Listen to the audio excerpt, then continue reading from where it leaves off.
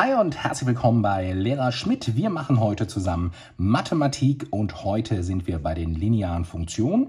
Ich habe hier drei Stück mitgebracht und heute wollen wir sie ablesen.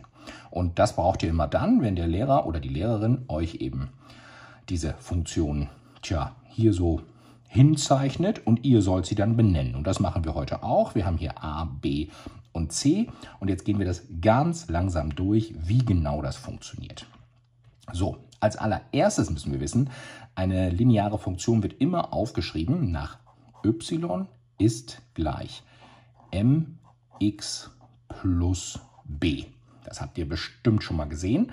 Und wenn wir das kurz zusammenfassen, dann heißt m so viel wie Steigung, x ist dann eben der x-Wert, hier ist der y-Wert und b, das ist ganz wichtig, b ist der Schnittpunkt auf der y-Achse. Das kann man sich so gut merken, indem man einfach das in der Mitte zuhält und dann steht da y gleich b. Okay, gut. Bevor wir anfangen, müssen wir eben zwei wichtige Sachen klären. Wir haben hier eine Achse, wir haben hier eine Achse. Das hier ist die x-Achse und hier oben ist die y-Achse. Das in der Mitte nennen wir Ursprung und hier auf der x-Achse ist es positiv. Hier seht ihr es 1, 2 und hier wird es negativ, minus 1, minus 2. Geht es nach oben, 1, 2, 3 positiv, nach unten minus 1, minus 2. Okay, achtet beim Zeichnen drauf, dass es natürlich immer die gleichen Abstände sein müssen, sonst ist es ärgerlich. Okay, so, fangen wir an. Wie zeichnen wir A? Also, das hier ist A und wir stellen jetzt erstmal fest, aha, das geht nach oben. Und wenn etwas nach oben geht, dann ist das grundsätzlich erstmal positiv in der Steigung. Also schreiben wir auf, wenn wir jetzt a machen wollen, a und dann y gleich. Dann können wir auf jeden Fall schon x hinschreiben, denn irgendeine Steigung werden wir schon haben. Und den Rest schauen wir uns jetzt an. Und wir fangen immer an mit dem y-Wert. Wisst ihr noch? So, und das ist ganz einfach. Wir schauen nämlich, wo genau bei der y-Achse wird die y-Achse geschnitten. Und das passiert hier bei minus 1. Und deswegen steht hier hinten schon mal minus 1.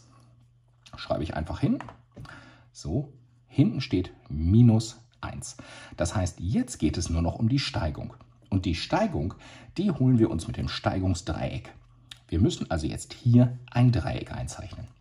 Und ich gehe jetzt hier einen Zentimeter nach rechts.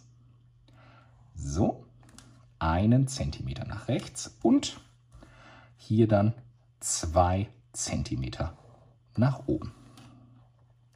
So, und jetzt bin ich auch schon fertig, denn genau so, wie ich das hier einzeichne, genau so kann ich das auch bei der Steigung hinschreiben. 2 und dann geteilt durch 1. Und dann ist die Steigung eben 2. Und die Gleichung zu dieser linearen Funktion heißt dann y gleich 2x minus 1. Minus 1, weil hier der Schnittpunkt ist und 2x, weil die Steigung hier 2 ist. Und natürlich dürft ihr auch 2 geteilt durch 1 schreiben. Beides richtig. Okay, das war noch ein bisschen schwierig, aber ihr werdet gleich merken, es wird immer einfacher. Machen wir b. So, und wir schreiben wieder hin, y ist gleich und dann wieder irgendwas mit x und irgendwas dahinter. So, b ist dieses Mal hier und als allererstes suchen wir uns wieder den Schnittpunkt mit der y-Achse. Und ihr seht ihn hier, hier ist er, bei minus 2. Seht ihr es? Hier.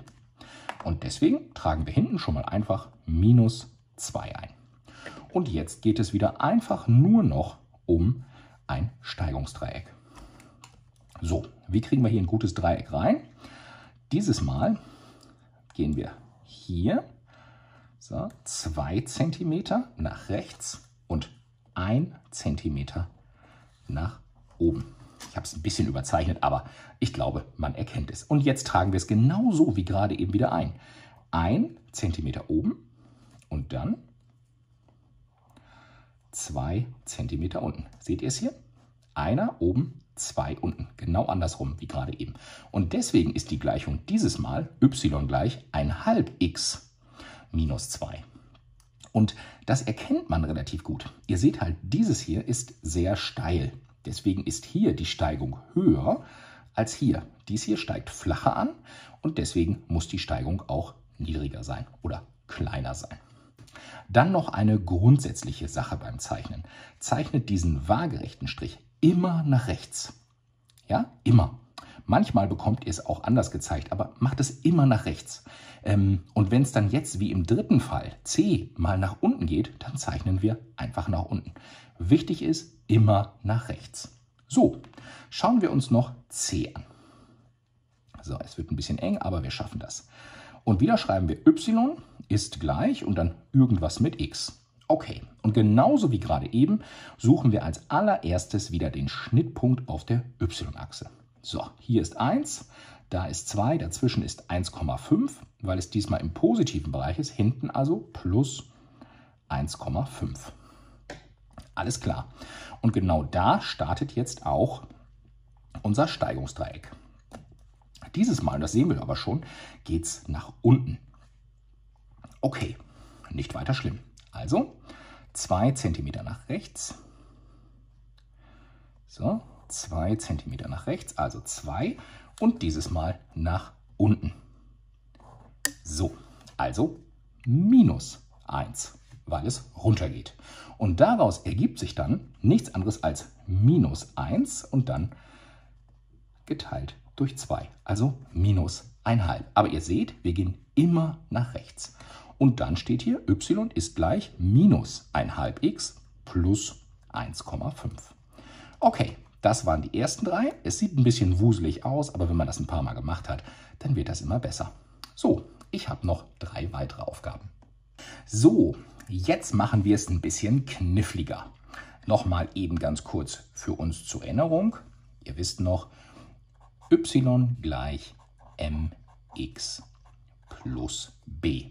Alles klar? Und jetzt geht's los. Als erstes a. Und a ist dieses Mal, seht ihr es, hm, gerade. Es gibt keine Steigung. Das sieht man ja sofort, weil der Abstand immer gleich ist. Man könnte auch sagen, ähm, a ist parallel zur x-Achse. Hier x, hier y, wisst ihr. Tja, und was machen wir jetzt, wenn wir keine Steigung haben? Wir gehen erstmal genau so vor. Wir schreiben also, ähm, a ist gleich y und wenn ihr möchtet, könnt ihr auch das x hinschreiben. Und wir suchen wieder, wie jedes Mal, zuerst den Schnittpunkt. Und der Schnittpunkt bei der y-Achse ist da 2, also plus 2 hinten dran. So, dieses Mal haben wir keine Steigung. Wir könnten zwar nach rechts gehen, aber wir können nicht nach oben gehen. Also ist die Steigung 0. Und dann können wir das auch hinschreiben. 0x plus 2. So schreibt man das aber nicht. Man schreibt nicht 0x und deswegen ist dann das Ganze dieses Mal x, äh, y gleich 2. Das ist die ganze Gleichung, denn egal welchen Wert wir einsetzen, es bleibt immer 2, 2, 2, 2, 2. Okay, eine Besonderheit habt ihr es mal gesehen. Weiter geht's mit b. So, b fangen wir erstmal wieder genauso an. y ist gleich irgendwas mit x und irgendwas hinten dran. Schauen wir mal. Wo ist der Schnittpunkt? Hey, im Ursprung. Also hinten plus 0, weil hier ist 0 auf der y-Achse. Okay, gut. 0 heißt, können wir eigentlich auch weglassen, aber macht ja nichts. Jetzt machen wir erstmal wieder unser Steigungsdreieck. Also, wir gehen hier einen Zentimeter nach rechts und dann können wir auch einen Zentimeter nach oben gehen. 1. Und dann ist die Steigung 1. Okay, na gut. Also 1 durch 1. Ne? Wisst ihr noch? Ja gut, und wenn das äh, y gleich 1x plus 0 ist, dann dürfen wir auch schreiben, damit ihr es mal gesehen habt, y gleich x. Denn 1 ist 1, 2 ist 2, 3 ist 3 und so weiter. Kommen wir zum letzten. C. So, wieder ganz normal aufbauen. y ist gleich irgendwas mit x. Und als erstes suchen wir wieder den Schnittpunkt. Hier ist c. Und wo ist der Schnittpunkt auf der y-Achse? Hier, bei plus 1. Also hinten schon mal plus 1. Okay, gut. Jetzt schauen wir mal. So, hier ein nach rechts und zwei nach unten. So machen wir es. Also einen nach rechts. Können wir schon mal 1 hinschreiben. Und dann dieses Mal zwei nach unten. Ich versetze es mal ein bisschen, damit wir es auch gut sehen können. So, zwei nach unten sind dann zwei. Okay, und ihr seht wieder, da es nach unten geht, muss das Ganze negativ sein, also minus 2. Und deswegen ist das Ganze dann dieses Mal minus 2 und wenn wir möchten, geteilt durch 1. Aber man dürfte natürlich auch schreiben, y ist gleich minus 2x plus 1. So, jetzt habt ihr einen groben Überblick über das Zeichnen von linearen Funktionen. Ihr habt hier die Besonderheit gesehen, ihr habt das mit dem Ursprung gesehen und wenn man das ein bisschen übt, dann kriegt man das ganz schnell hin. Okay, das war's.